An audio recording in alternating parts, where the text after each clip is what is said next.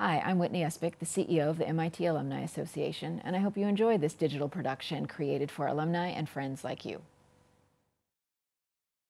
I am Chief Executive Officer and publisher of MIT Technology Review, and it is a pleasure to be with all of you today and moderate this virtual forum. This year, by popular choice, uh, popular vote of alumni, our topic is Geniuses and Game Changers we are going to spotlight four prominent MIT thinkers whose impactful work has been helping to make a better world. You've just heard from our first two speakers, Paula Hammond and Deb Bloom, and I'm glad you're joining us to hear from two more, Josh Tenenbaum and Ed Boyden. After these two speakers share some of their current work and research with us, I will moderate a Q&A with them using your questions from the Q&A form on the page. Please feel free to add your questions to the listing there or upvote other questions you'd like us to have the, the two panelists answer. You click, click on the thumbs up icon next to your favorites. Please welcome our first speaker, Josh Tenenbaum, a PhD from the class of 99. He is professor of computational cognitive science in the MIT Department of Brain and Cognitive Sciences. Welcome, Josh.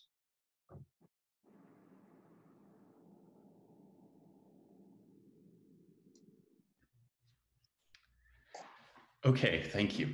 I'm really excited to be able to share with you all today the work that we've been doing not only in the Department of Brain and Cognitive Sciences, but also in CSAIL, the Computer Science and AI Lab, the Center for Brains, Minds, and Machines, and the MIT Quest for Intelligence.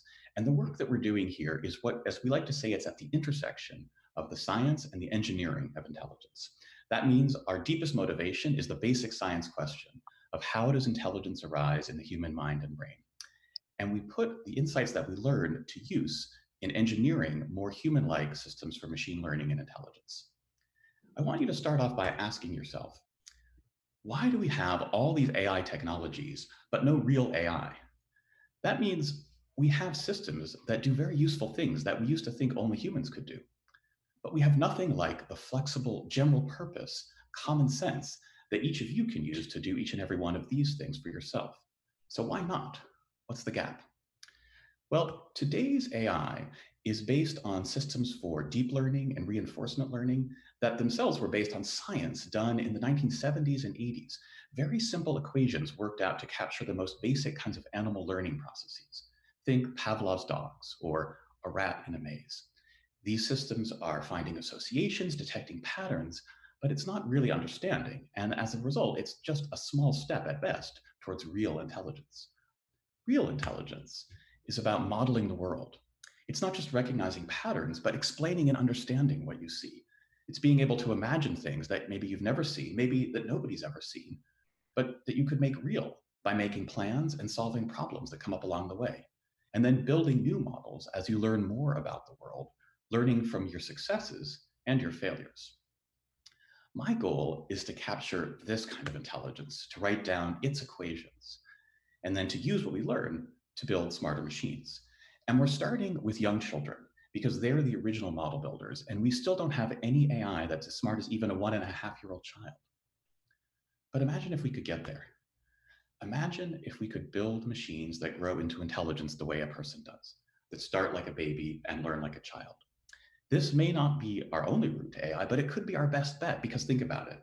A human child is the only machine in the known universe that reliably, robustly, repeatedly grows into human level intelligence starting from much less. And we know that even small steps towards that goal could be huge. So we're starting with the most basic kind of intelligence that's in every one and a half year old, but no AI. Intuitive physics, like you can see here, that a child uses when they're playing with blocks or stacking up cups. We don't have anything like this in robotics despite great advances. Or intuitive psychology, like you can see in this kid over here. The ability to read minds, to see somebody doing something that you've never seen before, and to figure out what they're doing and why, and even how to help them. Watch what this kid does here when the adult stands by. If we could build machines with this kind of intelligence, this cleverness, this tendency to help. It would be amazing. Now, in order to do this, we've had to make a number of technical advances, and we're just getting started. One of the most important is that we've had to develop new AI programming languages, what are called probabilistic programs. These build on, but go far beyond the deep learning, which is the big AI advance that you've all been hearing about, and many of you might even work with. Probabilistic programming languages allow us to combine the power of deep learning and neural networks with other great ideas from different eras in the history of artificial intelligence, which don't fit so neatly into the neural network toolkit. That starts with symbolic languages for abstract knowledge representation and reasoning, or probabilistic and Bayesian inference, the ability to reason about causes and effects from patterns of sparse, uncertain data. Bringing these ideas together, symbolic, neural, probabilistic approaches, let us engineer new kinds of AI and reverse engineer the roots of human common sense in ways we couldn't do with just any one of these paradigms alone. Everybody's asking me, what comes next after deep learning? Well, my bet is probabilistic programs are what you're going to be hearing about in a few years, if you haven't yet. Now, another kind of programming language we use are game engine programs. You might not have thought of these as tools for AI, but think about it. The tools that allow a video game designer to create a new game without having to start from scratch. Physics engines for simulating a player's interaction with a world of 3D physical objects. Graphics engines which simulate what the world looks like as the player moves through it or AI planning engines that allow the game to model the behavior of non-player characters. These kinds of tools, wrapped inside a powerful framework for probabilistic inference, allow us to model the basic kinds of common sense knowledge that are built, we think, into babies' brains, where children start in learning. Now, these tools, coming over to the engineering side, have enabled us to put intuitive physics into machines. Just in the last couple of years, I'm showing here a few projects that are collaborative with a number of robotics groups where using these tools, we've, we've given the robots some kind of common sense intuitive physics. The idea that they can not only stack up blocks, but even play the game Jenga, or figure out how to use tools, even new tools they've never seen before. Figure out how to make sushi, or at least the rice, to pour ice water, or even learn to walk. The next challenge is model building. How could a brain, a baby's brain, or a machine learn an intuitive physics model, let's say, for itself? If these models are probabilistic programs, then a learning algorithm has to be an algorithm that writes algorithms, a program that writes programs. It's what you might call the child as coder, or at MIT, we would talk about the child as hacker. Because think about it, we all know this. The things you do when you're hacking on your code to make it more awesome, right? Or just working on any project that you love, that may be the deepest kind of learning as well as some of the most fun kinds of play. Now, learning as coding or as writing code is much harder than learning in a neural network because there isn't a smooth optimization landscape. The space of programs that you have to effectively search if you're trying to build a piece of code is much more complex, and the search problem is much harder. Yet somehow children solve it, so machines can too. Another way to think about the challenge is to think about all the activities that a true MIT hacker does in any given day trying to make her code better. So that could include tuning the parameters of your existing code to make it run faster or more accurately. That's kind of like uh, training in a neural network or reinforcement learning. But think about all the things that actually involve writing code or rewriting code, writing a new function, debugging old functions, refactoring your code to make it more general, writing a whole new library that lets you solve many new problems in a domain, or even writing new programming languages. All these activities of coding have analogs in children's learning as they grow their minds, starting from the beginning all the way up to adulthood. And so if we want to build machine learning that learns like a child, we've got to have machine learning algorithms that capture all these ways of creating algorithms. It's a really hard problem, but we've made a few small steps. So our first one is a system that learns code that captures a very simple visual concept, like a new handwritten character. You can learn thousands of new handwritten characters, even in alphabets you've never seen before, from just a single example. In contrast to, say, a, conventional machine learning system, which might need thousands of examples for just one new concept.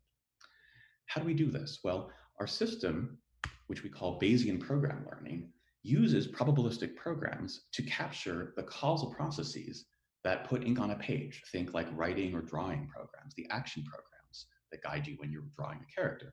And then it can run those programs backwards from observing one of their outputs using a kind of Bayes rule to figure out what was the program that produced what you saw.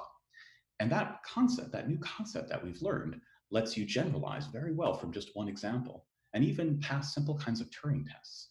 So here we can ask both our algorithm and people to imagine a new uh, imagine new instances of a familiar character. Could you tell which of these were drawn by the human or the machine? Try again. I bet it's pretty hard to tell. So this shows that we're passing a very simple version of a Turing test, being able to capture that creative generalization ability in this small domain. It's a small step, but it can scale. The same kind of idea can learn 3D shape programs to describe the shape of a chair, to answer questions about pictures, or even to learn to play a new video game a thousand times faster than a typical reinforcement learning algorithm, and almost as fast as a person. Now, I just want to leave you with our latest step, which is the incredible PhD work of a great PhD student, Kevin Ellis. He's just about to graduate from MIT. And working with a team of other students and researchers, he's built a system called DreamCoder. This is our latest kind of Bayesian program learning. It's not even published yet. Now, this system is inspired by the observation in science that much of the deepest learning that goes on behind our everyday activities takes place not during the day, but at night while you're asleep replaying and consolidating the memories of what you learned during the day. Our system, similarly, tries to abstract out the concepts in common to the solutions it solved in each new batch of tasks that it's given. And then it replays those solutions and practices solving new related problems in something that's like a dreaming or sleep phase. And it does this iteratively in a bootstrapping cycle that allows it to learn to learn better each day and even to build whole new libraries of concepts that capture the underlying abstractions in a given domain. So we can illustrate this with some creative visual tasks like building towers out of blocks or drawing designs like these using the programming language Logo. So the system here might be given these designs, for instance, and just given the basic logo drawing primitives. So just the ability to pick a pen up or down, to move it in some direction or to turn, and then starting just from that, it learns to draw all these designs, and it does it by learning these new functions that capture concepts like a semicircle, a circle, a spiral, an S-curve, a polygon, and so on. And even higher order functions that can take one of those more basic functions and then say repeat it in a radially symmetric way around a circle.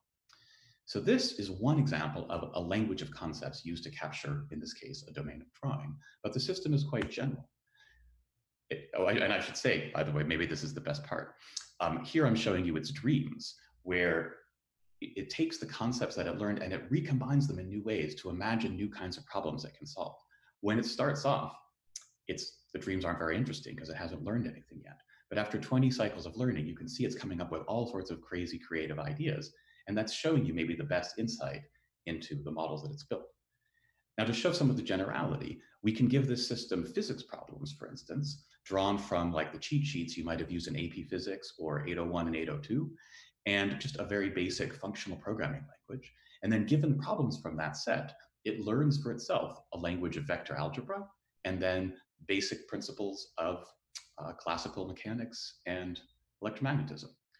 Or given, starting with the most basic kind of programming language that you might have seen in 6001, so Lisp, circa 1959 maybe, and then some basic programming exercises, the system can construct for itself the conceptual system of modern functional programming. So language, uh, language tools like fold, map, unfold, and so on.